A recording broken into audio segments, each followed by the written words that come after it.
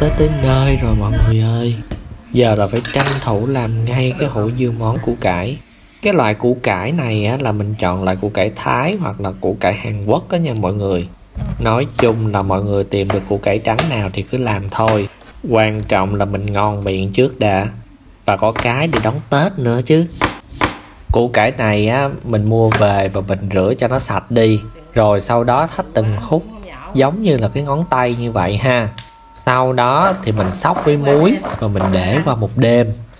Mục đích là để sát khuẩn và cái thứ hai nữa là để cho củ cải nó tươm nước ra ha. Rồi sau một đêm mọi người thấy không? Nó tươm nước ra và bây giờ là mình đem ra phơi ha. Phơi thì phải phơi nắng gắt nha mọi người nha.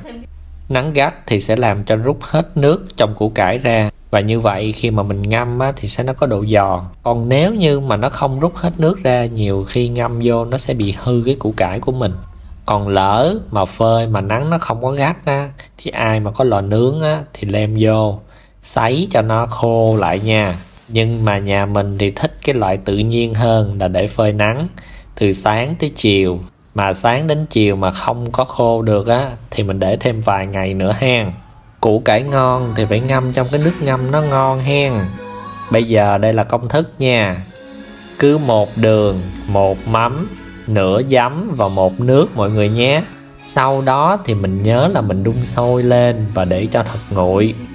Làm xong thì để chừng 2 đến 3 ngày là mình đã có món củ cải ngâm nước mắm rồi. Mà mọi người biết không, Tết thì phải có các loại dưa món. Ngày Tết mà thiếu đi dưa món thì nó cũng như thiếu Tết rồi.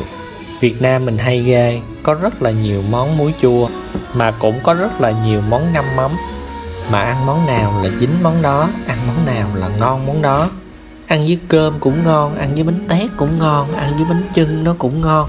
Nói chung là ăn cái gì nó cũng ngon. Có cái miếng củ cải mà ăn nó dai giòn sực sực. Trời ơi, tết đến nơi rồi, thử đi nhé mọi người.